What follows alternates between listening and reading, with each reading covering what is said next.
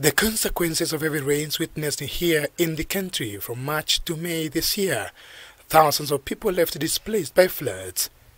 Up to today, many of the displaced persons have not been able to return to their normal lives. Gentlemen, the Kenya Climate Change In a report released today, dubbed Climate Change Impact in Kenya, more than 300 people died as a result of these floods, with a million displaced. Overall, it's making our people uh, weaker economically, it is making them poorer, it is decimating livelihoods uh, and, and, income opportunities, and it, the recovery periods between one emergency and another is getting much shorter. So very little opportunity for communities to bounce back, to recover and to rebuild.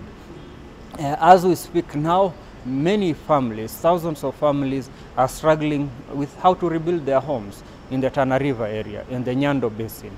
Um, and, and, these are populations that had been affected just uh, previous in the previous season by the El Nino phenomena in the October, November, December rainfall season. Meanwhile, another report on improving water security in Kenya's drylands in light of climate change shows that groundwater levels are continuously decreasing, especially in urban areas, posing a major threat to the construction sector. With those volcanic rocks, we have what we call the basement system rocks. Okay, these are very old, impervious uh, rocks.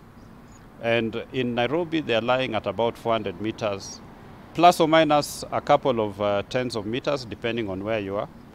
And uh, that will be the end of the groundwater in Nairobi. So we're actually, in my mind, I think we're already sitting, targeting the last level of the aquifer in Nairobi. So what is going to happen? Here we are, we, are, we have compressed our upper level aquifers, so they are storing less water. And uh, the very last aquifer, we are also maybe possibly abstracting much more than we should, so it is also compressing and losing its storage.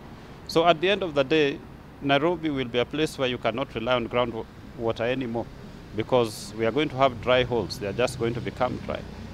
The two reports have proposed various measures to address climate change, both nationally and continentally, such as the use of green energy, among others.